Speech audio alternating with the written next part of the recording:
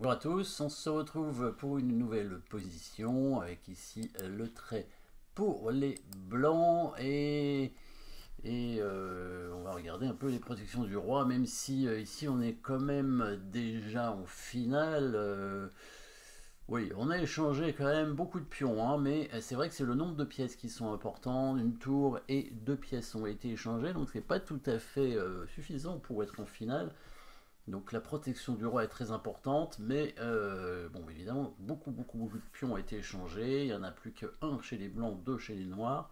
Au niveau des pièces dame, tour, deux fous de chaque côté, un pion de retard, mais euh, évidemment tout va se jouer sur la protection du roi, euh, le roi noir qui est en danger ici clairement hein, avec la dame et la tour dans la direction, et il y a quand même aussi deux fous hein, qui peuvent arriver à tout moment le roi noir euh, qui peut être mis en échec.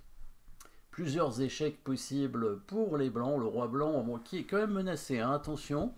Hein, euh, parce que comme il n'y a plus beaucoup de pions sur l'échiquier et qu'il y a encore les dames, euh, ben, à tout moment il peut y avoir des menaces concrètes sur notre roi. Évidemment c'est une menace de mat, ça quand même, hein, la dame qui arrive en 1 mais euh, c'est au blanc joué, et donc euh, on a intérêt quand même à jouer des coups forcés. Hein. Euh, donc par exemple la prise du fou avec la tour est pas bonne bien sûr, puisqu'il y a la menace de mat hein, qu'il va falloir éviter. Donc probablement il va falloir faire échec sans arrêt avec les blancs, à moins de parer la menace, mais les blancs n'ont pas d'avantage matériel, donc ils ont intérêt encore une fois à faire des échecs. Quels sont les échecs possibles? Il y en a pas mal il y a 4 euh, échecs de dame et 2 échecs de tour. Mais à chaque fois, on est obligé de donner du matériel puisque euh, euh, la dame défend la tour. Donc si elle se met en F3, là elle n'est pas en prise, bah, le roi prendrait la tour. Et pas sûr qu'on ait quelque chose derrière. En E2, bah, elle serait directement prise par la dame. En G4, elle serait prise par le fou. En G5, bah, il y a tout le monde qui peut la prendre. En G5 euh, serait prise par le pion, le fou. Euh. Euh, du coup, si c'est la tour qui fait échec en G5, c'est la même chose. Et en H6, il y a le pion qui prend. Est-ce que c'est un intérêt? On voit pas trop. Pourtant, il y a un, bon coup sur l'un de ces coups-là, hein, forcément, puisque sinon, bah, on est mat. Ou alors, il faut parer le mat, hein, mais c'est triste. Hein, on va pas chercher à jouer un coup de défense, roi B1 peut-être.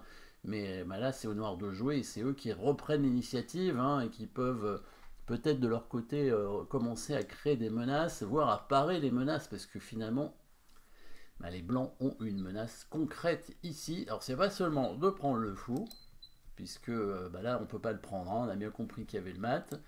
C'est un mat ici assez rapide, vous l'avez peut-être trouvé, le mat qui va être créé par les blancs un mat trois coups, très exactement. Eh oui.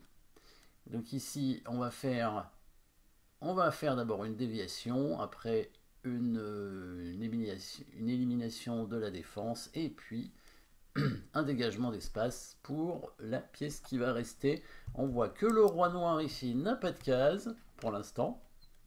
Il y aura un blocage aussi, hein. il y a pas mal de thèmes hein, dans cette euh, combinaison, blocage du roi avec le prochain coup euh, des blancs. Donc là, il faut, bien regarder euh, toute la suite. Hein. On ne peut pas jouer les coups les uns après les autres au hasard. Hein. Il faut vraiment voir toute la suite, donc euh, tous les échecs potentiels des blancs dans cette position. Donc, quel était le coup qui donnait le moins de matériel?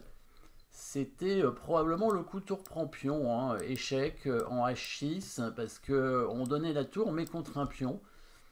Après, euh, on voit pas trop l'intérêt, hein. il va reprendre avec le pion et il n'y aura rien d'intéressant. Si il peut y avoir un intérêt, ce serait d'enlever la tour pour dégager l'espace pour le fou. Parce que le fou pourrait donner un échec ici en F7. Sauf qu'il y a le fou en E6 qui nous gêne. Donc, si on est malin, on dévie d'abord le fou.